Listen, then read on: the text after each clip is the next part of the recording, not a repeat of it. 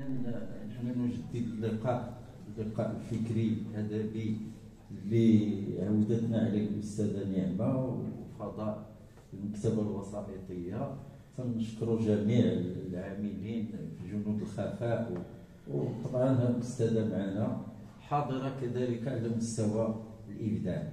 هذاك الشيء اللي قال السي محمد بوحاشي بكل صراحة وهو يطرح أسئلة عريضة. أنا غادي هو داك الشيء عندي مكتوب. آه، يعني القراءه جاهزة غادي يمكن الأستاذة نعمة منها. آه، غير اللي أساسي هو أنني درت لها عنوان أحلام المرأة المؤجلة في رواية سيمفونية الفوضى. خديت المحاور. اولا درت مقدمة تعريف الاصداري وهذا مهم جدا تعريف الاصداري بالرواية. آه، علاش؟ لأنها طبعت في السودان. وهذه مسألة أنا حاولت ندير فيها واحد البيان. دابا الفوق نبقى ندير واحد البيانات. آه، قراءة سيميائية في عتبة الرواية. ثم ميزت من خلال الرواية بين جوج مستويات. أرى أنا شخصيا أنها أساسية وهي صورة الأنثى في سيمفونية الفوضى وهي مهمة وصورة المرأة. في سيمفونية الفوضى على سبيل الختم كشاف المراجع. آه، الملاحظة الأولى آه، ترتبط بظاهرة الصوت. فعندما نتحدث عن الصوت فإننا نتحدث عن الصوت فيزيائيا كظاهرة فيزيائية. ولكن عندما نقول سيمفونية سيمفونية الفوضى فالأستاذة توظفها بمعنيين. المعنى الأول هو أن الصوت عادة عندما يلتئم على مستوى علم الموسيقى فإنه يؤدي إلى السيمفونية.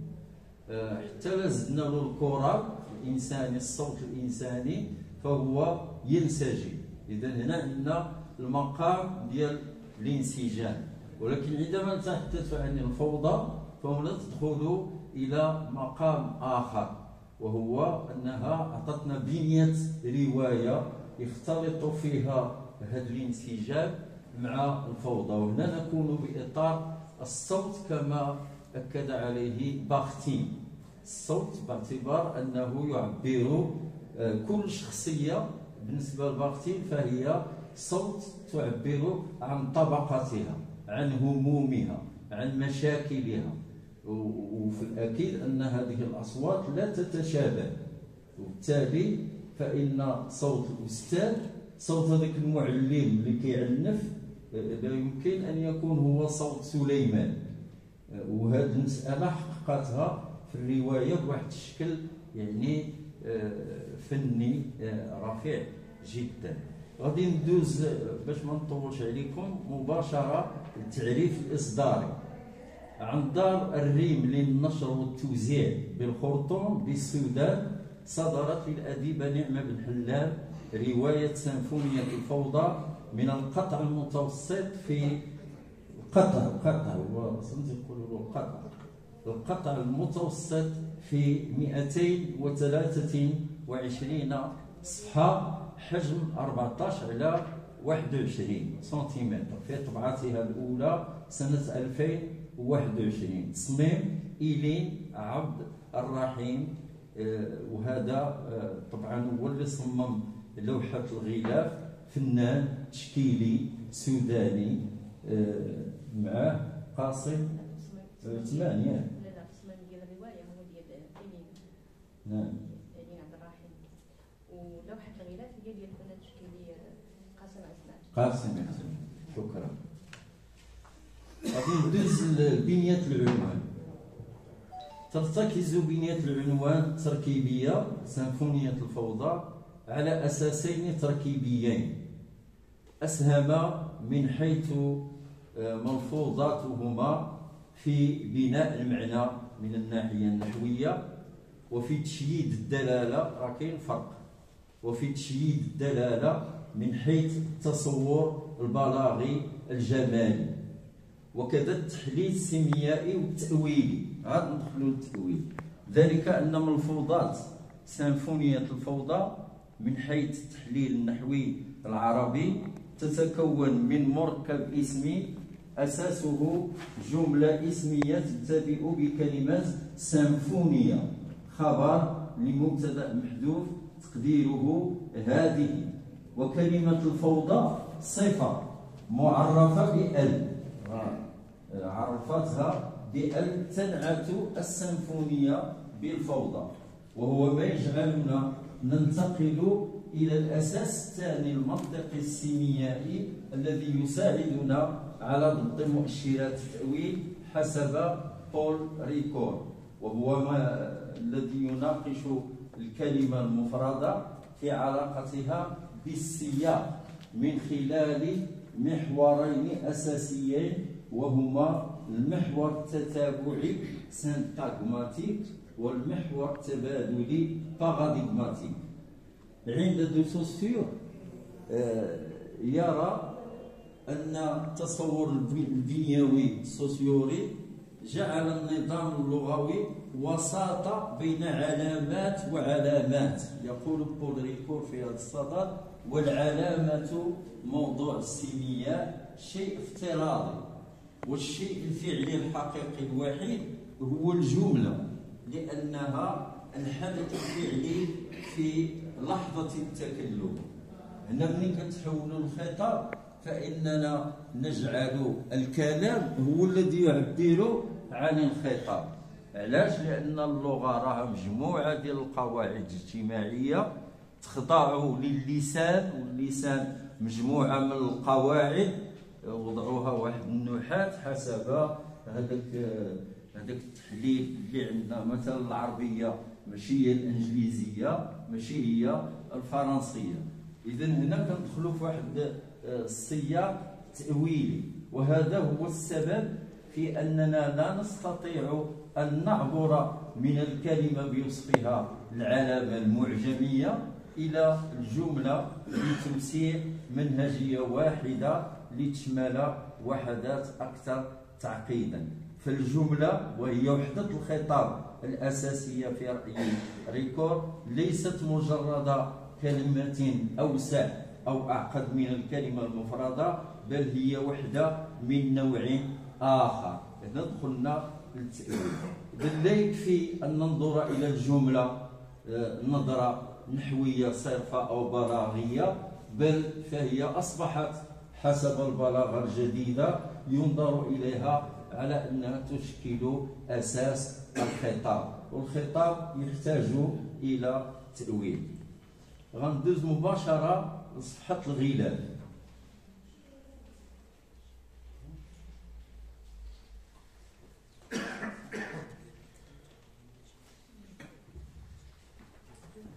إن التشخيص الأولي لصفحة غلاف رواية سيمفونية الفوضى يجعلنا ندخل عالم الألوان.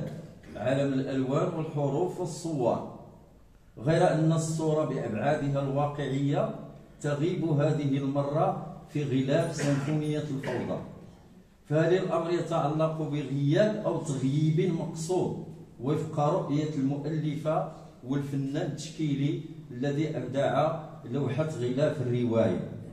وهل نحن بصدد عمل تجريدي تجريبي والحالة أن الخط الواقعي في الرواية من حيث شكلها ومضمونها ونوعية قضاياها الاجتماعية آه، الماسحة لخبايا الواقع المتسم بالفوضى في العلاقات الاجتماعية كما نتصوره في الرواية سيمفونية الفوضى بعدسة مبدعتنا نعمة بن حلال ومهما تعددت القراءات وتنوعت التأويلات فإن صفحة الغلاف من منظور سيميائي بيرسي تتأسس على بنيتين لونيتين متناقضتين وهما تشكلان البنية الأساسية لعالم الألوان من الناحية الكيميائية. بنية اللون الأبيض وقد طغت على أرضية صفحة الغلاف إذا شفتوا الرواية. وتشكل بنية سطحية يمكن إدراكها بالعين المجردة من خلال تفحص صفحة الغلاف. وبنية عميقة تتعلق باللون الأسود الذي يشاكس صفحة الغلاف في اللوحة التشكيلية من خلال إطار اللوحة التشكيلية التي تتوسط صفحة الغلاف ومخالطة اللون الأسود للألوان القزحية السبعة التي تنفتح على الماء والسماء وتجسدها الأشباح التي تنتصب من خلالهما أو ينتصب من خلالهما شبحان يسيران فوق الماء ويتجهان نحو السماء من خلال باب يشطر الجدار السميك نصفين فيشكل بذلك الانشطار العمودي مدخلا إلى عالم ينفتح على عالم الحلم بقوانين النظام الكوني المتأصلة في كل الموجودات. وهكذا نفهم من قراءتنا المتأنية لصورة الغلاف ومن خلال لوحته التشكيلية أن مبدعتنا ربطت البنية العميقة للونها الأسود بالحروف. وهو ما يتأكد من خلال من خلال كتابة اسمها نعمة بن حلال في أعلى صفحة الغلاف على يسارها مباشرة وكذا عنوان الرواية سنفونية الفوضى وجنس الكتاب رواية ودار النشر والتوزيع باللون الأسود. بمعنى أن حروف كاتبتنا السوداء واقعية تعكس سواد المعيش اليومي للمجتمع المغربي والعربي على حد سواء لكنها عندما اختارت اللون الأبيض لأرضية صفحة الغلاف وألوان قوس قزح في اللوحة التشكيلية فقد رمزت بذلك للنظام والانسجام الموجودان في الكون والطبيعة كما خلقها الله عز وجل ويميزها بنظام وانسجام. عتبة الإهداء. تتأكد أهمية عتبة الإهداء في رواية سيمفونية الفوضى من طريقة البوح الشعرية الذي يجمع بين الرسالة والخطاب. والرسالة حسب بول ريكور هي التي تضفي الوجود الفعلي على اللغة بكاملها من كتاب نظرية التأويل آه، الخطاب المعنى صفحة 12 جاء في مقطع الإهداء ما يلي تكبو الأحلام تغمرنا أطياف الأوهام في فوضى عابثة تتبعثر أوراق هرمت وترامت فوق ركام العمر. الرواية صفحة ثلاثة. إن معجم هذا المقطع آه، يحضر القارئ يهيئه يحضر القارئ للدخول للدخول في عوالم الفوضى التي تدعون الكاتبة لتأملها واكتشاف مكامن الفوضى والانسجام فيها بعدستها التصويرية وفكرها التصويري وقدرتها السردية البارعة المراهنة على فتح أعيننا على مواطن الفوضى في كل ما يبدو لنا منسجما في واقعنا الاجتماعي المغربي. ومن خلاله الواقع العربي المتشابه إلى حد كبير وقد وصفتها بالفوضى العابثة في هذا المقطع الإهداء الهام وهو كذلك من حيث إن كبوات أحلامنا وتخبط أوهامنا وتبعثر أوراق عمرنا وتراكمها فوق آه، ظهر عمرنا البائس هو ما شكل العدة الحكائية لرواية سيمفونية الفوضى. ومن هنا فنحن من خلال مبادئ مقاربة النقد. السيميوبلاغي للصورة نحتاج إلى نقد مزدوج يميز بين الذات الفردية والذات الجماعية من جهة وذات النوع ذكر أنثى التي نشترك فيها نحن البشر مع الكائنات الحية. وعليه فإن تحليل ذات النوع في رواية سيمفونية الفوضى يعتبر مدخلا أساسيا في تحليل مستويات الخطاب الذكوري. لا يمكن أن نتصور تحليل الخطاب الذكوري في معزل عن الخطاب الأنثوي. إذا هذه مسألة آه، مستلزمة تستلزم بعضها البعض. وعليه فإن تحليل آه، ذات النوع في رواية سيمفونية الفوضى يعتبر كما قلت مدخلا أساسيا في تحليل مستويات الخطاب الذكوري عند سليمان كبطل شاقي لأنه يعتبر جلادا وضحية في الآن نفسه. كما أن الدراسة النقدية المستفيضة التي آه، ستسعفنا على تكوين صورة متكاملة لهذا العمل المتميز للروائية نعمة بن حلام سنعمل من خلالها أو سنعمل على شملها آه، مستقبلا آه، بدراستها من زوايا مختلفة انطلاقا من هذا التحليل هذا هذه قراءة ما كافياش. كنشوف أنا صورة ندوز صورة الأنثى في سيمفونية الفوضى. تتأسس تيمة الأنثى في رواية سيمفونية الفوضى. على الخلفية الإبداعية للكاتبة هي اللي قال عبد الله فراجي. آه، الخلفية الإبداعية للكاتبة نعمة بن حلام الواعية. الواعية وهذه مهمة. الواعية بقيمة الأنثى البيولوجية والثقافية في المجتمع المغربي والعربي على حد سواء.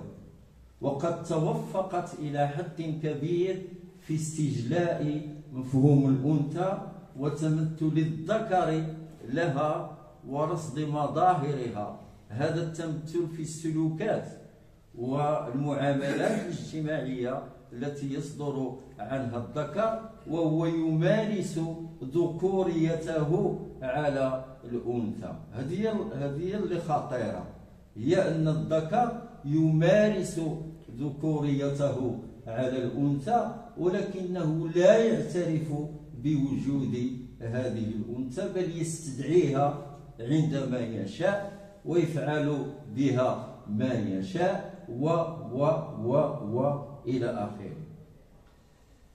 آه، مما يجعله وهذا مشكل آخر مما يجعله يسقط في تناقضات المشاعر البراقة. وهذه هذه عاوتاني كتكشف لنا واحد المجموعة ديال الحقائق. وأنا شخصيا لاحظت بأن الأستاذة نعمة استعملت في التقنية ديالها ديال الصب أنها ما كتعطيناش الظواهر من أجل استعراض الظواهر. هي كدير واحد العملية طبية سميتها لوميوباتي شنو هي لوميوباتي أنها كتقول لنا خصنا نبحثوا على الأسباب المؤدية إلى الظاهرة الاجتماعية وليس استعراض الظواهر الاجتماعية. وهذه هي الهوميوباتي العلاج علاج الأسباب. ماشي؟ نعالجوا الظاهرة. وهذه مسألة جديدة في الرواية وفي التقنية ديال الرواية. أه وهنا كتجي كذلك المعاملة المجحفة في حق الأنثى. الأمر الذي يزج به هذا الذكر يزج به في الفوضى الحياتية التي تعاني من آثارها السلبية كل أنثى. هذيك الفوضى مش الرجل هو الذي يعاني منها. بل الأنثى هي التي تعاني منها باعتبار أن هذا الذكر يفترض أنه مسؤول على الأنثى وأنه أنه إلى آخره وهو آه، يتملص من كل هذه المسؤولية. أنا كنهضر بشكل واقعي. أنا تنحلل. ماشي ماشي بشكل إيديولوجي. أتحدث بشكل علمي. يعني يفترض أن هذه البنيات يجب أن نتعود على آه، تحليلها بهذه الطريقة. علاش؟ لأننا آه، لحد الآن آه، في النقد ديالنا ما زلنا نلامس القضايا لا نغوص في أعماقها من ناحية منهجية وهذا يقتضي نوع من المسافة. الناطق خصو يدير واحد المسافة بينه وبين العمل الذي وبدون محاباه أنا شخصيا هذه المسائل خديتها آه، عندي مقاطع هنا على شكل جداول خرجتها من الرواية ومن خلالها تنستشهد على أن كل ما أقوله يوجد في الرواية. باش ما نطولش غادي نمشي مباشرة آه، واحد المسألة مهمة عندها في سياق الاسترجاع. أنا أعطيت واحد الجدول آه، لنتبين صورة الأنثى في سيمفونية الفوضى. لابد من أن نميز بين الحكاية والخطاب. كاين فرق بين الحكاية وبين الخطاب. الخطاب شكون اللي كيت اللي كيتحكم فيه؟ السارد. هذاك السارد يقدر الكاتب يوكل السرد كما فعلت نعمة أنها أوكلت السرد لمجموعة من الشخصيات حسب الأدوار التي تقوم بالخصوص كنزة. باعتبار أن كنزة مثقفة ولكن مشكلة مشكلة كنزة فين هي؟ هو أنها لا تنجي. أنها عاقر ورغم مكانتها الاجتماعية ورغم ورغم ورغم فإنها منبوذة في المجتمع. ورغم واخا يكون عندها الفلوس واخا يكون عندها كذا كذا لكونها عاقر فهي منبوذة. وهذا مشكل خطير. واحد التقنية رائعة لقيتها عند الأستاذة نعمة. عندها سياق الاسترجاع فضاءاته أزمنته شخصياته. أنا درت واحد الجدول هنا. آه، سياق الاسترجاع رحلة سياحية ثقافية ترفيهية للعاصمة إسطنبول تركيا. الفصل الثالث من الرواية صفحة 22 يمكن تطيق فضاءات استرجاع أزمنته وشخصياته بالرجوع إلى آه، فصول الرواية التالية. عندنا الفصل الرابع صفحة 28 عندنا الفصل السابع صفحة 86 87 عندنا الفصل الثامن صفحة 128 آه، 129 غندوزو الفضاءات. فضاءاته اولا عندنا الفضاء الأول منطقة السلطان أحمد الفاتح إسطنبول تركيا. آه، المنطقة الثانية الفضاء الثاني المسجد الأزرق المسجد الأزرق وهو مسجد السلطان أحمد الفاتح الفضاء الخارجي كاين الفضاء الخارجي والساحة المحيطة به. ثم عندنا الفضاء الداخلي للمسجد. ثالثا الفضاء الثالث متحف آيا صوفيا متحف رائع وهي كتوصفه بواحد الطريقة وواحد اللغة رائعة. الفضاء الرابع قصر توب كابي توب كابي ياك أستاذ. كابي آه، ثم بحر مرمارة وعندنا المقهى التابعة له. سادسا جزيرة الأميرات في بحر مرمارة هذه كلها آه، فضاءات آه، من غنرجعوا للرواية غنلقاو على أنها فعلا فيها الحلم فيها الألوان فيها التاريخ فيها الحضارة فيها الدين فيها اللي بغيتي كتلقاه هنا.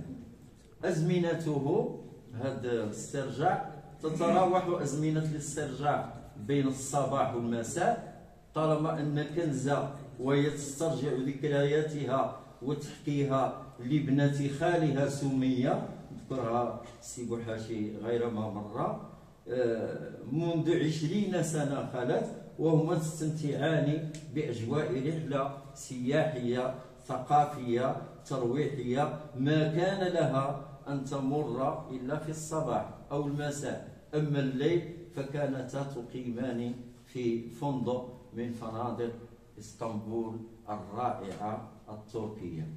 الشخصيات عندنا آه، بالأساس كنزة سمية وهما اللتان قامتا برحلة سياحية ثقافية ترويحية إلى تركيا وشكلت فضاءات هذا البلد الضاربة جذوره في التاريخ الإسلامي بأوروبا فرصة للحكي واسترجاع ذكريات الماضي الذي يفصل الحضارات ويفصل كذلك الذكريات أو قصة الرواية. وربما هذه هي الفكرة اللي قال عبد الله فراجي أن ربما هذا الاسترجاع كان هو الانطلاق ديال كتابة الرواية في حد ذاتها هذا سؤال نوجهه للكاتبة نعمة بن حلان. انت تجاوبينا على هذا السؤال.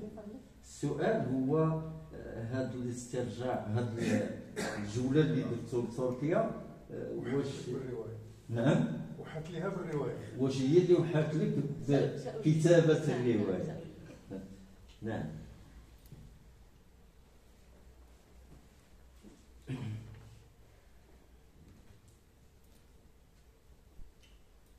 إن صورة الأنثى في رواية سيمفونية الفوضى تتمظهر من خلال علاقة سليمان بالنساء كزوجات وخليلات.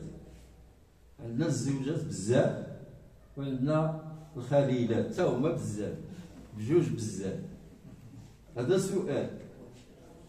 وهو بذلك يصدر عن وعي شقي مليء بالمتناقضات. وهنا غنقول واش هذه هي الفوضى. هذه المتناقضات واش هي الفوضى. ولعل نعم. ولعل مفهومه للأنثى من خلال تمثله لها ومعايشة معايشته لنماذج مختلفة من النساء تحت وطأة الجهل المركب. هذه المسائل كاينة في الرواية. والفقر المهدد لوجوده الاجتماعي وكينونة رجولته علاوة على معاناته مع العقد النفسية التي كان سببها معلمه الذي مارس عليه أشكال العنف هو ما جعله لا يستطيع إدراك المفهوم الحقيقي للأنثى كما تتمثله كنزة باعتبارها مثقفة واعية بقيمة الأنثى الروحية والاجتماعية. تقول كنزة في رواية سيمفونية الفوضى في هذا الصدد وهي تناقش صورة الأنثى من خلال تحليلها للعدة اللونية التي سبق أن وقفنا عندها في تحليلنا لصفحة الغلاف الأولى وهي تؤكد في المقاطع الأولى من الفصل الثاني على علاقة ألوان قزح الحالمة بمستوى خيالنا ومجازات تخييلنا الحالم بتحقق آمالنا واللون الأسود الذي يمثل الحقيقة كما يعكسها الواقع وتتحرك آه، وفقها الوقائع والأحداث والأشياء والشخوص كما آه، في المقطع الحواري بين سمية وكنزة. كنزة عزيزتي أغمضي عينيك وتخيلي اللون الأبيض. هل ترينه سمية نعم. كنزة والآن تخيلي اللون الأخضر. هل ترين سمية؟ نعم أراه أيضا. كنزة تخيلي الآن اللون البنفسجي ثم البرتقالي ثم كل كل ألوان قزح. هل ترينها؟ سمية أجل. كنزة افتحي عينيك الآن. هل ترين تلك الألوان؟ سمية. لا أراها لكنني أرى لون فستانك الأحمر الجميل إنه يليق بك. كنزة دعك من لون فستاني وركزي معي. لماذا رأيت تلك الألوان عندما أغمضت عينيك؟ ألم يكن مفترضا أن لا تري إلا السواد؟ هذا هو المشكل. هو أن هذا البنية اللونية كلها تختزلها الأستاذة نعمة في السواد هذا سؤال فلسفي معنا هنا الأساتذة ديال الفلسفة. خصهم يجاوبونا على هذا السؤال. اذا خليه شكرا.